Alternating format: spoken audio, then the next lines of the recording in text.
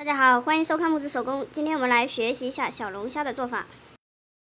尾巴处理好了之后呢，我们给它反一面，反一面是这个样子，再把它这样给它折过来，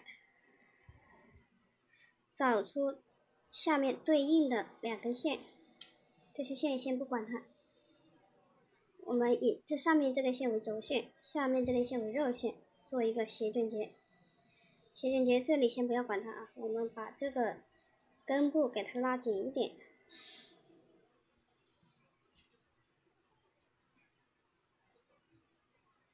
这个斜卷结做好了以后呢，我们把它给拉到最紧，啊，再把这两根线拉到上面来，这些线先不管啊，用它相邻的这两根线也是做斜卷结。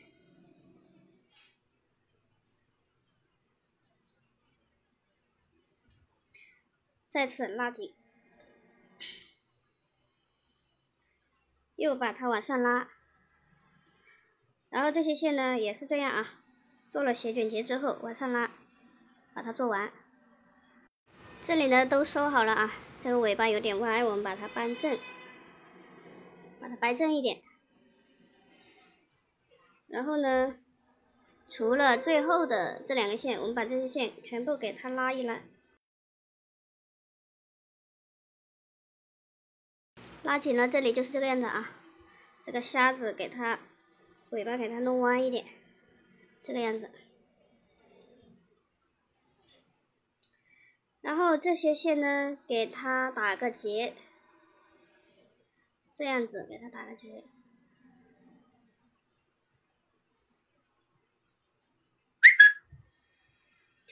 再把这多余的线剪掉，烧粘好。这些线都一样啊，除了这两个线，这些线都一样。这些都弄好了啊，我们再给它做一个大钳子。我们把它固定好之后，拿出一根三十厘米的 A 玉线，给它折一下，一头长一头短，短的放上面，然后开始做雀头结。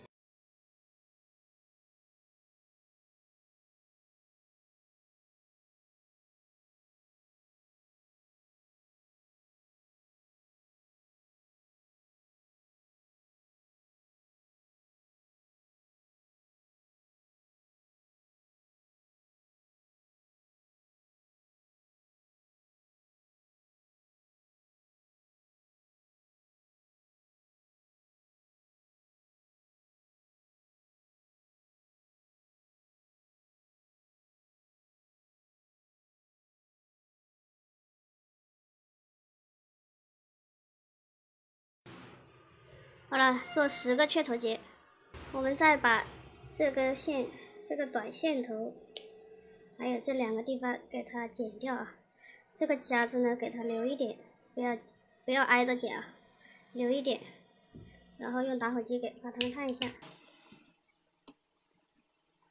好了，这个钳子就做好了，我们再做另外一边也是这样做，两边的大钳子都做好了，我们开始来给它做眼睛。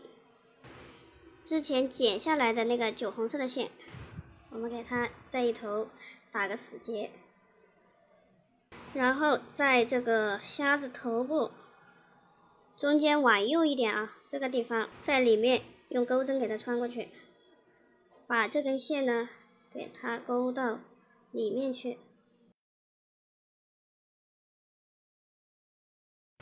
然后呢，我们在这个眼睛对应的这边这个位置啊。给它把钩针穿到里面去，再把这根线头给它拉过去，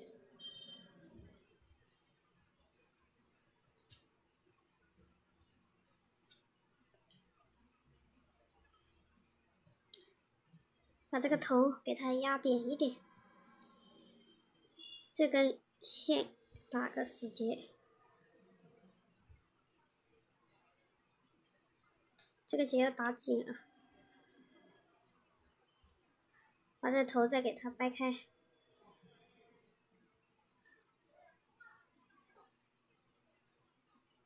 这两个眼睛就出来了。我们再把这两边的线头给它剪掉，稍等好。好了，这样这只小龙虾就做好了啊。把它再弯一弯。好，谢谢大家收看。